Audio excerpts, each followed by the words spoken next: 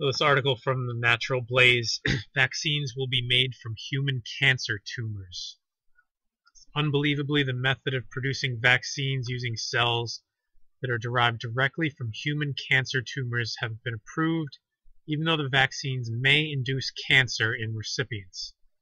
This method is cheaper and faster than breeding animals for the culture media, and human cancer tumors are readily available.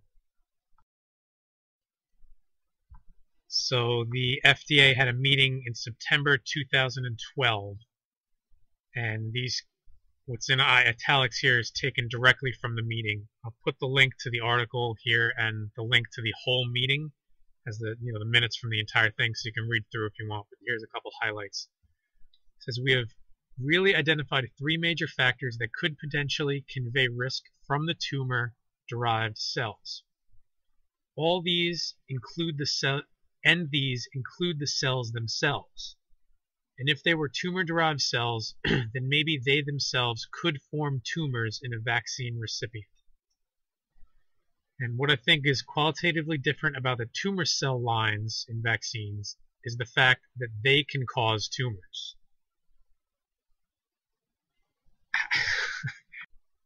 but of course, just like with radiation, how are you going to prove it? Said, certainly if you're going to address the question about tumor risk of vaccines made in tumor cell lines, it's going to have to be a decades question.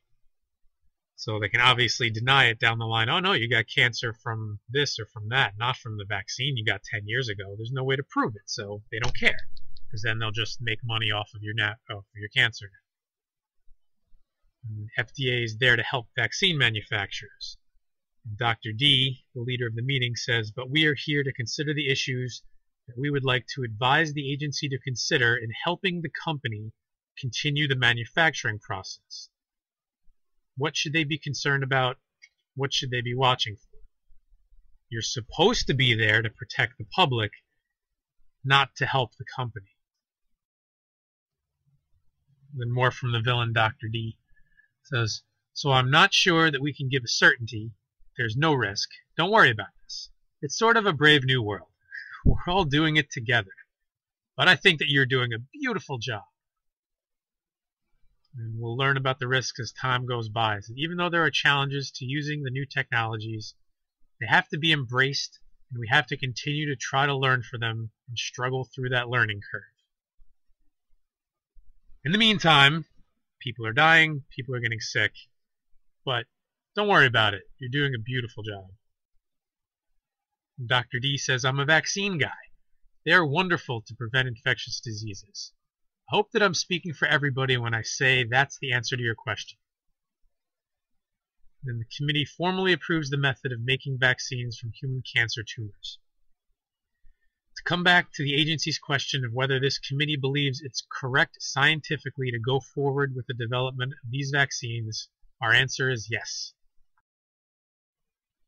So the article goes here. In conclusion, making vaccines with cells that are directly derived from human cancer tumors is faster and cheaper than breeding animals for the culture media.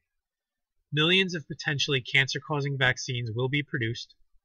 The vaccines may possibly cause genetic mutations. Millions of dollars will be made by vaccine promoters. The health of millions of consumers may be jeopardized.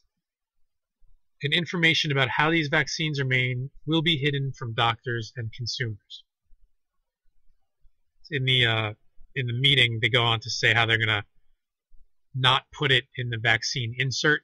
Not that anybody really gets that or looks at it anyway, but it won't specifically be mentioned that the vaccine is derived from cancer, from tumors. and people will just blindly take them. Go get your flu shot. Go get your this shot without even questioning. And stuff like this is, is brushed under the rug.